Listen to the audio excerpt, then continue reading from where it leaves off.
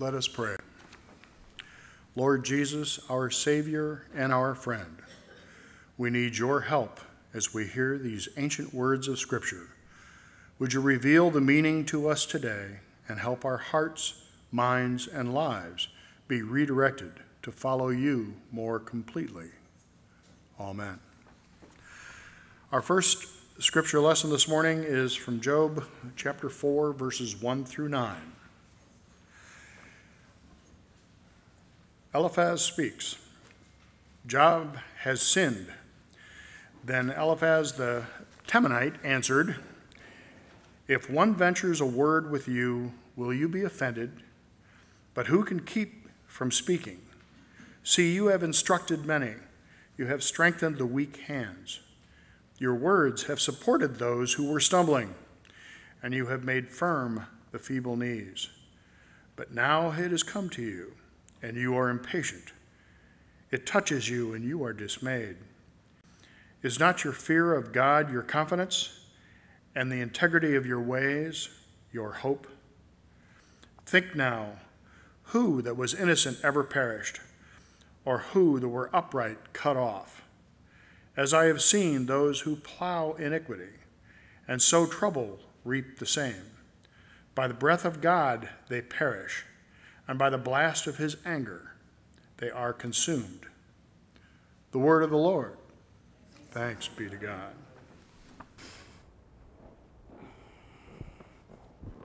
Well, we have been in a series about gardening um, this summer and as God is our gardener. So today we are um, in uh, the, New, the New Testament scripture for today is Luke 13. And Jesus is going to talk about a little gardening again. 13, 1 through 9.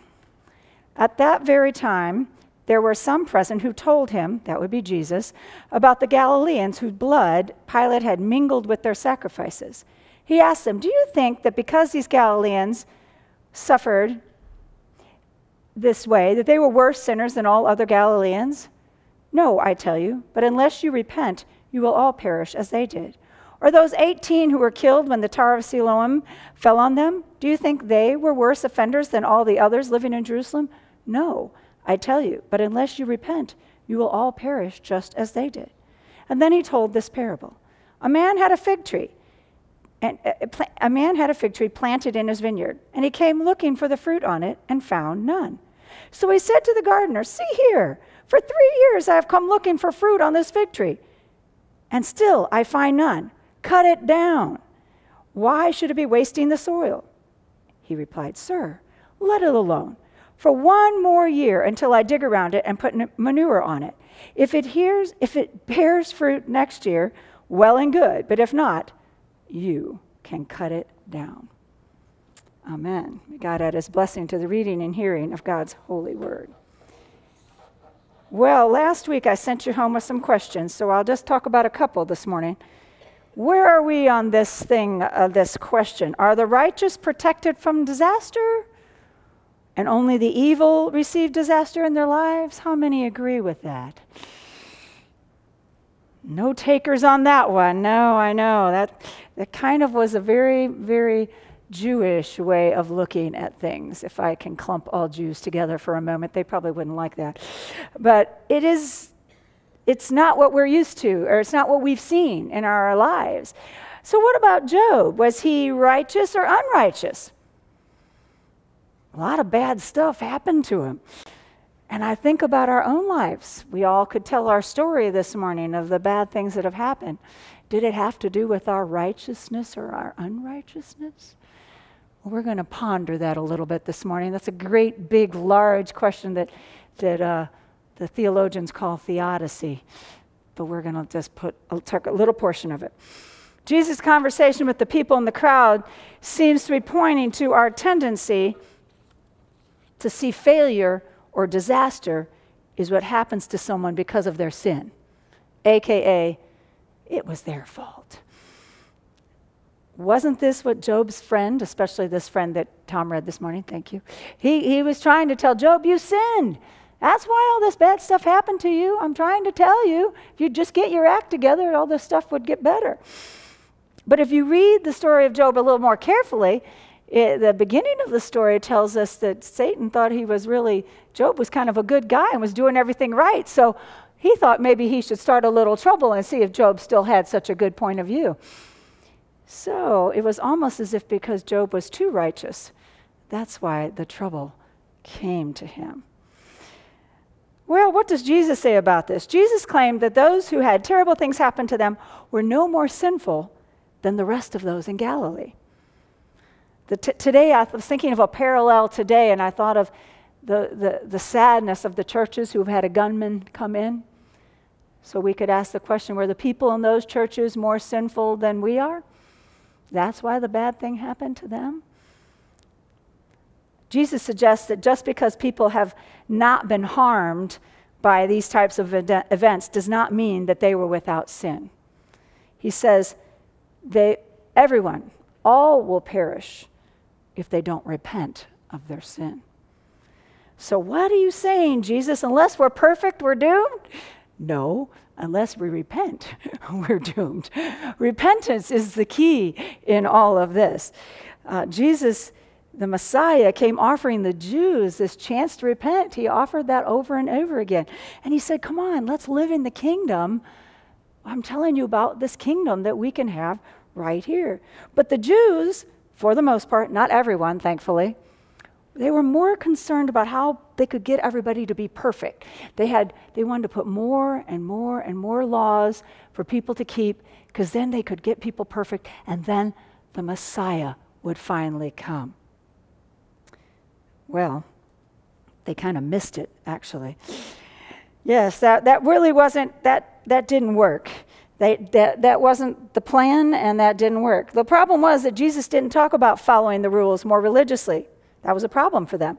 Or ending Roman occupation. They were big on ending Roman occupation. Jesus called them to leave their love of vengeance and to love God. To leave their love of separating the clean and the unclean. They were big about that. And instead to see their neighbor and to love their neighbor.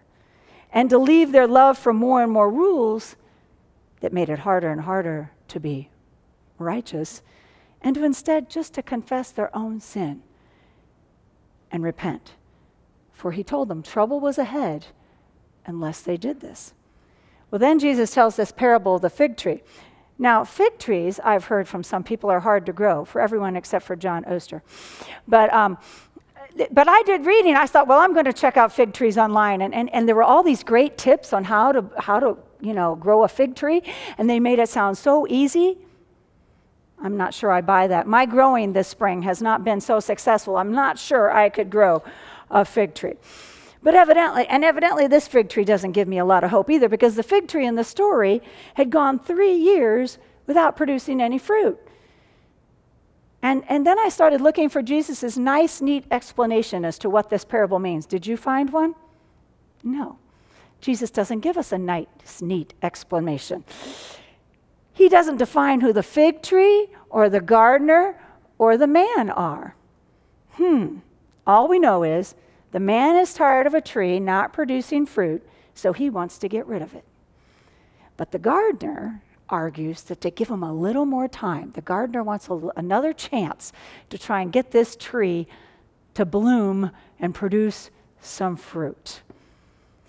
N.T. Wright, who is one of my favorite theologians, offers that you could put God or Jesus in either the man or the gardener. They're sort of interchangeable, he thought. But, uh, but you, can, you can read it for yourself and see what you think. So, this fig tree, well, I got ahead of myself. We've been reading a book. Session, I just finished a book called Success is Who You Are. And there was this really interesting quote in there about failure that I thought was appropriate for today. Sam Adeyemi, who writes it, says, if you do it, whatever it is, and it doesn't work out, try again. Failures are simply successful people who gave up too soon. Successful people are failures who refuse to give up.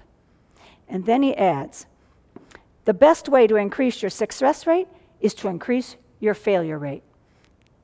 Success is born out of failure. Turn failure into fertilizer and plant the seed of your new vision in your past failure. End of quote. You see, that fig tree had failed, didn't it? It didn't produce any fruit. Because in the first century Palestine, you can, the success of a fig tree was not how pretty and leafy green it was, it was how many figs it produced. It was all about the fruit. Therefore, this tree was a failure. Should they quit planting fig trees? Maybe. Should this tree be turned into furniture or firewood? I don't know what you do with fig tree wood. I didn't research that far. I don't even know if it's good for furniture. But something, they were going to do something else with this tree according to the man who planted it. So, what was Jesus' point in this parable, though? Let's not get lost.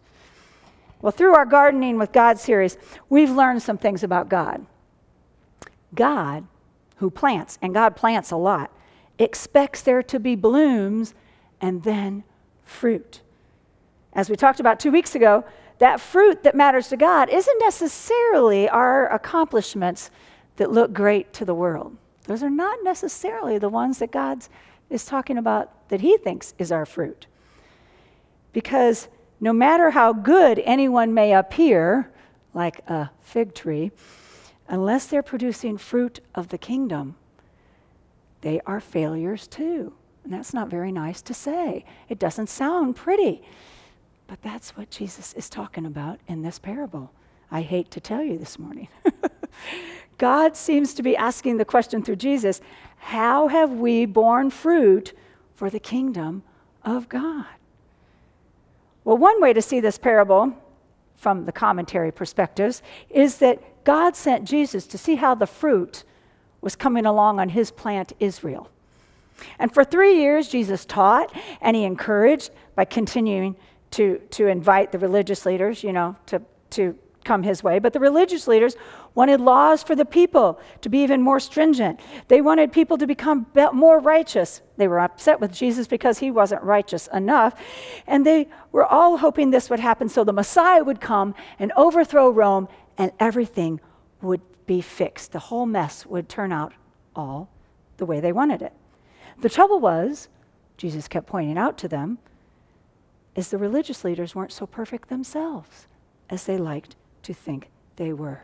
They were not as perfect as they appeared. Jesus continued to tell them this was not God's plan. God wanted to see fruitfulness in everyone. Well, I didn't tell Tom I was going to tell this story, but it's a pretty it's really an easy story, honey. It's nothing about you. He's a contractor, and they work with plans. Contractors do, not just Tom, but every contractor. You know, you have your, your layout, you know, your, what's that called, floor plan, and then there's those building plans called blueprints. And I have only been married to him 24 years, but I've already learned a tiny bit about building, but don't ask me to build a house for you. I've learned about this much, just enough to be dangerous. But I have learned in listening to him that if people don't read the plans very well or don't know how to read those plans, that that building doesn't look like what the architect imagined. It, it, may not even be safe, depending on who your architect is. So it's very important that people read and follow the building plans. And then this week was another great example because the landscaping crew came to start working on the landscaping. And I heard by way of some of our folks, they didn't have a plan when they got here. They had plants, but they didn't have a plan. So it was hard for them to know what they were going to do with those plants. They needed a plan so they could put them in correctly. Well, this is all to say, you know, God has a plan. He had a plan for Adam and Eve, which we talked about weeks ago. He had a plan for Israel, and it was to live in covenant with God. That was the big plan. Living by God's plan meant loving God.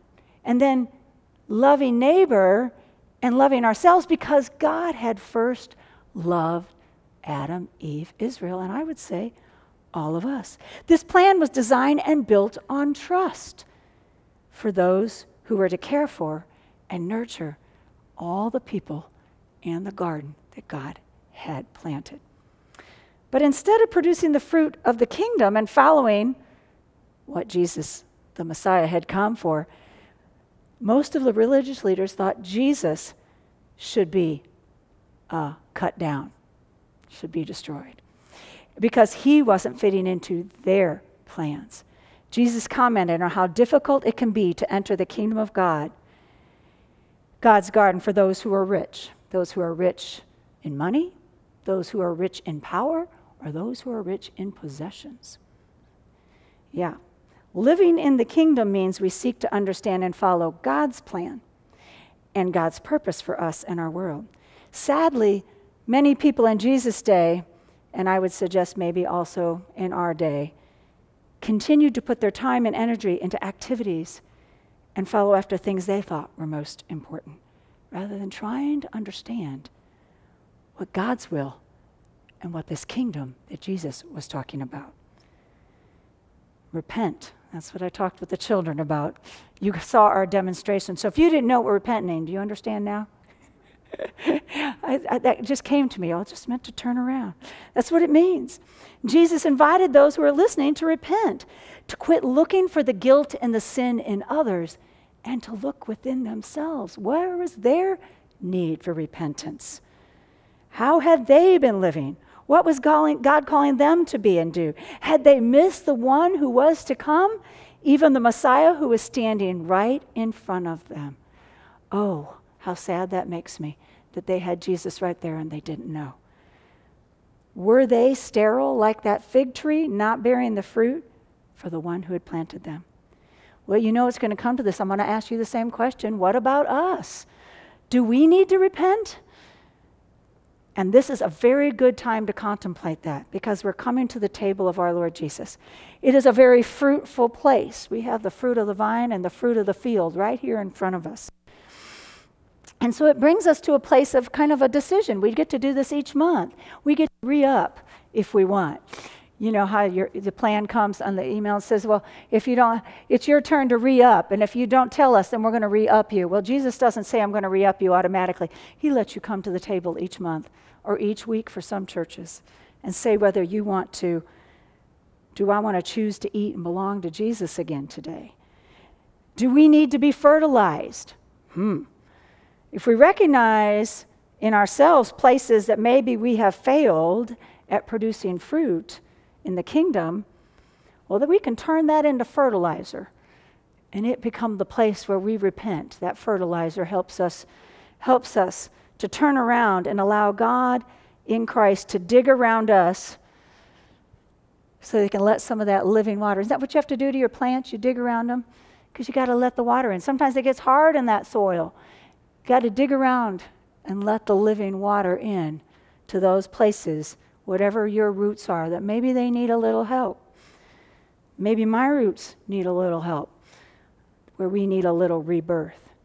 In our repentance, we may find that we can, with God's grace and mercy, begin to produce the fruit that will be pleasing to Him. Let's pray about that.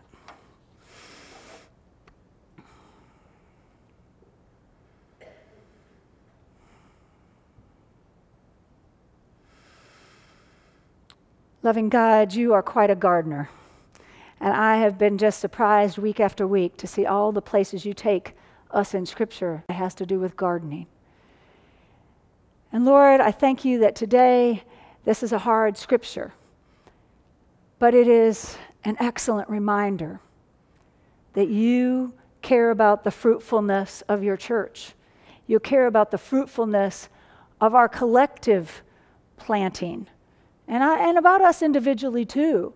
But you're about what this church and what the church universal is producing. What kind of fruit are we offering for the world, for you, in Jesus' name? So, Lord, we need to contemplate this more than an hour on Sunday morning. We need your help to think about that in our own personal lives and as our lives together as people who claim your name, Jesus. So this morning, Lord, I lift us up and I lift up that word repentance. And I invite you to speak in us by your Holy Spirit because I don't know the hearts of each who sit here this morning. Only you do. Thankfully, Lord. Only you know us. And so I thank you for showing us when we're quiet enough to hear. The places where you want to prune, where you want to dig, where you want to bring new life and produce fruitfulness. I thank you that age has nothing to do with that. For as little as Noah is, or as old as our oldest congregants are, you are still actively working as our gardener, Lord Jesus. And we thank you for that. And Lord, today we come in our prayer time because we come to intercede, to intercede for those who have asked. And it is a humble thing to ask for prayer, and it is a good thing to ask for prayer. It is what you call us to do, to not only be prayers, but to be askers. And so this morning there are people who have asked. Lord, we lift up Bill and Janet Starr, and we thank you that Bill has finished one surgery and he has one to go. And we're grateful that in the midst of devastating diagnoses, you are still mighty God. And so, Lord, we bless you for the surgery to come, and we thank you for the provisions for Janet while he's having that surgery. And we thank you for how you are mightily at work in their lives, even now. Lord, we lift up Dorothy um, Teeter's brother, Wilburn, who has brain cancer. And she texted me to tell me he not, he's not doing so well. So, Lord, we lift him up to you, and we thank you for being with him. And Lord, I, I don't know Wilburn, but I pray that somebody is telling him the good news that you love him and that you have not forgotten him, even though that can feel that way when you have some a diagnosis like that. And Lord, we lift up folks who are sad this morning. We lift up Zachary's family and friends, where he was 17, Lord, and that's awful young, to go to be with you. But Lord Jesus, I thank you that you did not refuse us, but you, you received Zachary, and you have a comfort that is greater than I can imagine for all those who love and for whom Zachary was dear. So I trust that even as we trust in your resurrection. And we lift the Copenhaver family for the same. Their little two year old is no longer present with them, but she is with you. And so, Jesus, we thank you for your comfort, but we also thank you for the resurrection, which is a powerful, powerful reason to keep taking step after step when we are sad, to remember in the midst of our tears that you are greater than even the worst things we can imagine or that happen.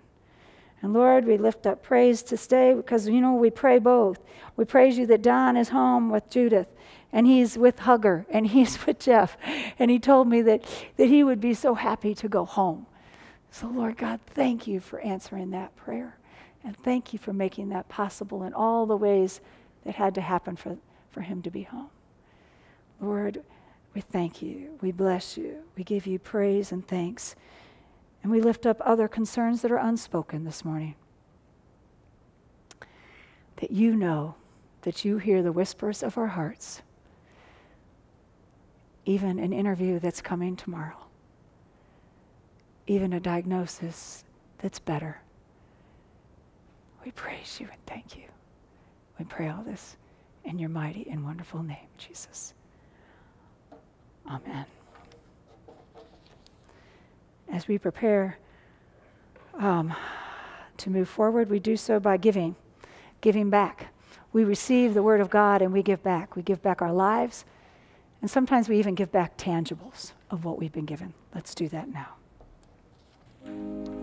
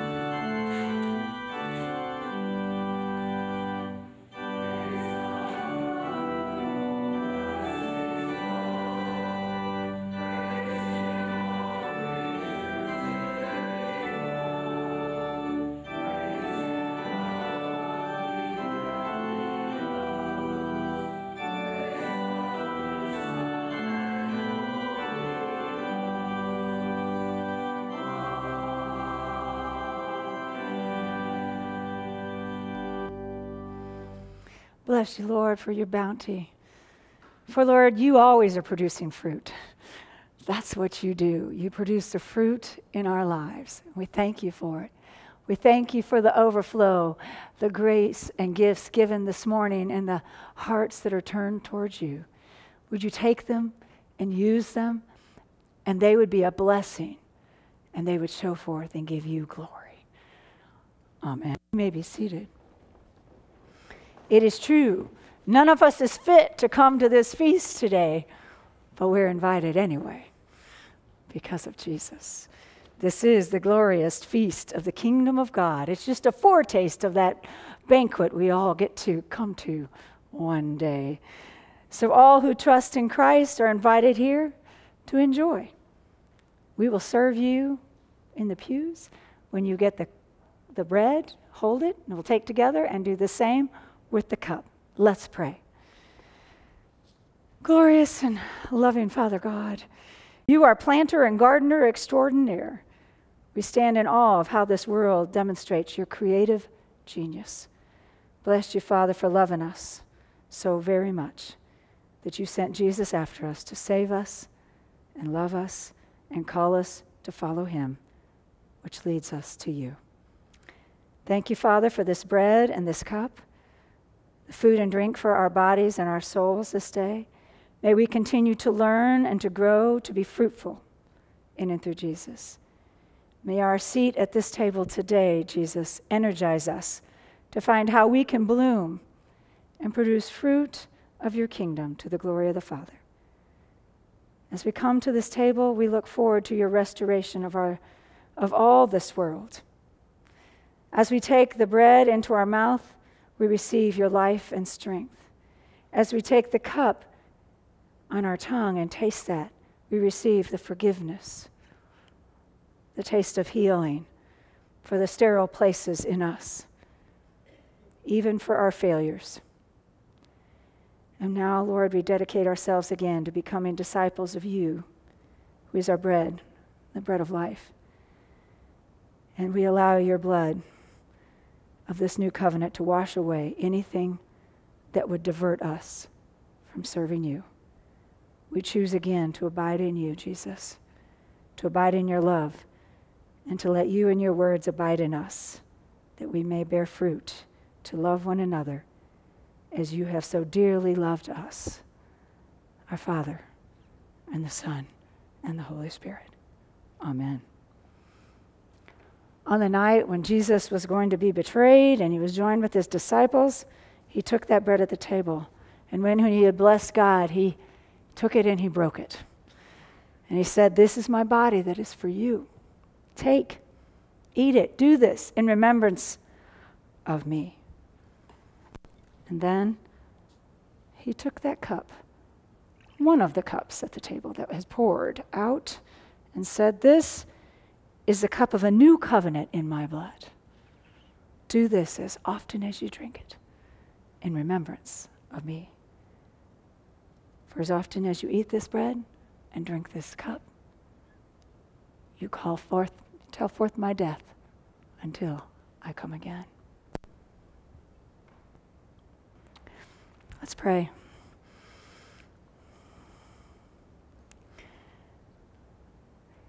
Thank you, Jesus, that you bring heaven even into this place. This meal that has, has your body and your blood that is, that is forever resurrected with the Father, but comes close in us to put that eternal life, to bring eternal fruit of the kingdom planted in us to grow out of us. Lord, we look forward to seeing more and more of that fruit as you continue to garden in and through and around us. In your name, Jesus. Amen. Stand if you are able, please, as we sing our closing hymn, Amazing Grace, 649. Just the first four, just the first four verses.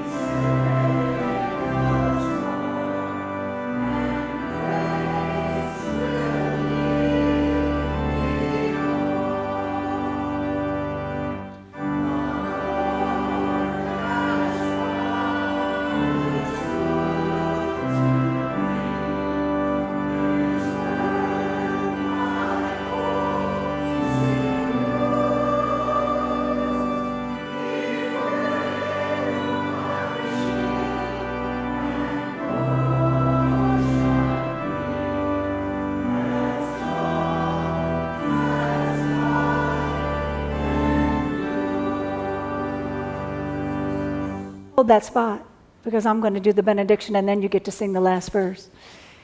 So I want you this week to think back to when that little gardening started in you. When did God plant the seed in you to become fruitful in the kingdom?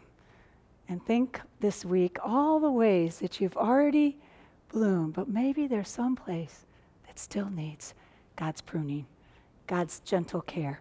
So I invite you to think on that and pray on that and to grow mightily. In the name of the Father and Son and Holy Spirit. Amen.